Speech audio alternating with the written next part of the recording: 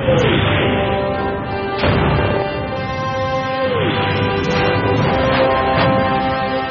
and welcome to a brand new edition of Making in India, New Deal for Defence. This week we take a look at a company that's not only helping enhance India's defence capabilities but also establishing India's dominance in space exploration. 118 years old, and Boyce has evolved from making locks to giving India a lock on the planet Mars. Involved in 15 diverse businesses from precision engineering to precision machining and tooling, and Boyce is one of the first private sector companies in India, but its growth has been propelled to new heights as the Indian Space Research Program spread its wings. As its presence in space and aerospace grew, the company has put its expertise and skills to make its indelible stamp on two more closely related areas, India's indigenous missile program and India's civilian nuclear program. CNBC TV 18 Sajit Mangat travelled to Piroz Nakar on the outskirts of Mumbai to get you a first-hand look at the capabilities of this media-shy company.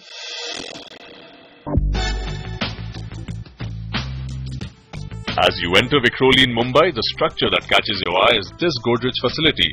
It sprawls over 3,500 acres which include 2,000 mangroves and has been classified as an eco-zone. This eco-zone classification itself is just 20 years old, while the Godrej Group has stood guard over this land for over a century. Godrej and Boyce, the holding company of the Godrej Group, started its journey by manufacturing high-quality locks in 1897. Today it has 15 diverse business divisions offering consumer, office and industrial products and services. Along the way some 30 odd years ago, this locksmith decided to help India unlock the mysteries of space. It's interesting. Uh, you know, it was more in response to a national call.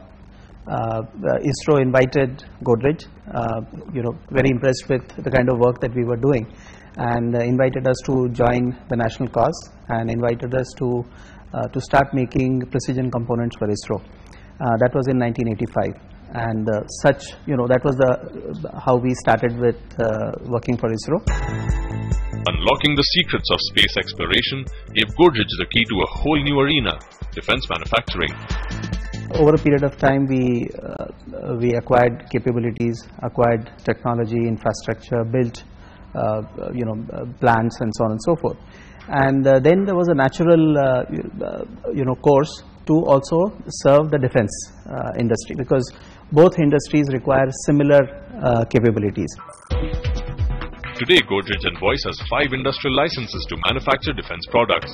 But back in 1985, the company realized that cementing and sustaining a strong position in defense and space would mean heavy investment for building technologies, for enhancing capabilities, for putting in place cutting-edge infrastructure, and more importantly, getting specialized manpower on board. I'll put a ballpark figure of, uh, you know, for defense, uh, I could say nearly about 300 crores worth of investment in plant machinery, uh, development of technology, and, um, and, you know, building capabilities. Space, I would add uh, another 100 crores or so. This investment of course does not include the money spent to make its Vikhroli facility one dedicated to fulfilling its defense ambitions and moving some of its customer-facing businesses to other facilities outside Mumbai. But the first nudge to enter space and defense did not come from the company itself. Godrej is known for the sheet metal and the precision machining facilities.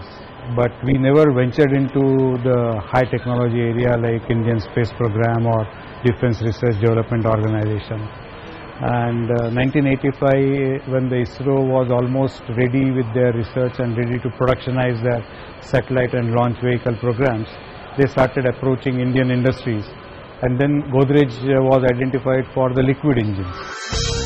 ISRO gave the company a further nudge when after asking the company to participate in the Indian space program, it pumped in a cool 100 crore rupees into Godrej's facilities. This money went into bringing in new technologies and equipment equipment that Godrej is using to this day to develop engines for ISRO.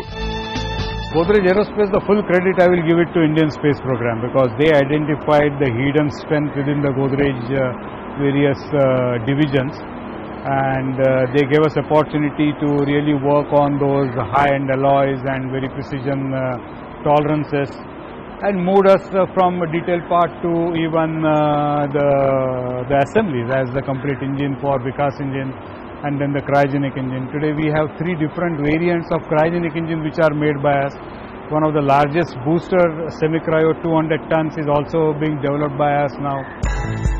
Godrej spent the next four years, that's 1985 to 1989, working on ensuring that it could deliver on its promise to provide high precision detailed parts to the Indian space program.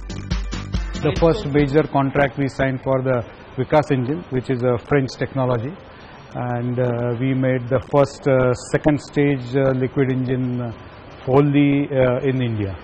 And that was for the GSLVs and the PSLVs? Yes, it's used in second stage of PSLV and GSLV. And now we have two different variants for GSLV uh, first stage booster and uh, the GSLV Mark III, once again uh, first core engine. The going has not been easy for Godrej. It has had to continually match ISRO's pace of development and ambition. But Godrej has proven to be up to the task, becoming one of the key suppliers of liquid engines for India's space program. Godrej has supplied ISRO with over 100 engines so far, and the journey is far from over. One of the first feathers in the company's cap came in 1994. That's when it delivered its first liquid propulsion engine to ISRO for ground testing. Four years later, with the successful launch of the first PSLV, Godrej had officially arrived. By then, ISRO was ready to take space research to the next level, and Godrej was embroiled in a race to design and manufacture cryogenic engine. At the time, India was trying to acquire cryogenic technologies from Russia, but the technology transfer was not complete. Things got a lot more challenging when sanctions were imposed on India for conducting Operation Shakti, popularly known as Pokhran 2. So the latest GSLV liftoff is only the second to carry an indigenous cryogenic engine made at Godrej facilities. 96 we signed the first contract for the cryogenic engine and that engine was delivered in 2002 for the ground test. But uh, I mean once again the technology transfer was not complete so I had lot of learnings and then we developed it along with ISRO lots of uh, new variants and modifications in that so that it became a testable and now just recently we had the second successful flight also. Over the years, Godrej has supplied numerous engines for ISRO's PSLV and GSLV liftoffs. But the crowning glory for the company is its association with the successful MOM, or Mars Orbital Mission. Godrej supplied the second and fourth stage engines for the Mangalyaan. It also supplied ISRO with the orbital thrusters and deep space antennae for this mission. Now as Godrej cemented its association with space research, it has also cemented its presence in the field of defense manufacturing. It was very exciting because we actually were already doing work for space research and uh, therefore, you know, uh, there was a new set of customers which needed the similar capabilities. So we were very good at it. In fact, uh, even from the customer's point of view, I think the first experience would have been very good because here in us we had, uh, they had a, a, vendor or a partner who could actually, you know, understand their requirements and, uh, and execute them well. The big boost in this regard came from former President APJ Abdul Kalam but much before he became president. As he steered India's missile program, Kalam decided to tap the potential in India's private sector long before the government even considered it.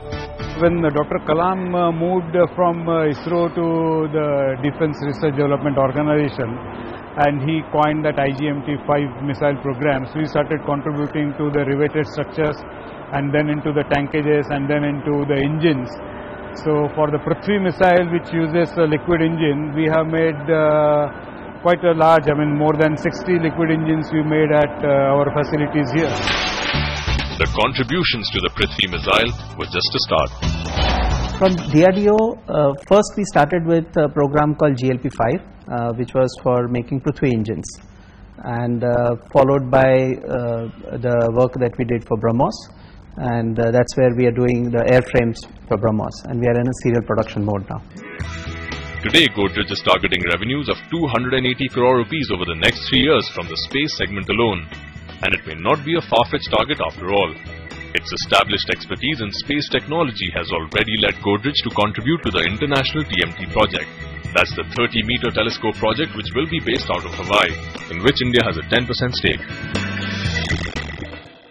space, it's widely considered to be the final frontier, but for Godrej, space is just a stepping stone. After this short break, we tell you how Godrej and Boyce is pitching to become the tier 1 supplier for global OEMs in the aerospace segment and also its capabilities in manufacturing the BrahMos missile system. Stay on with us.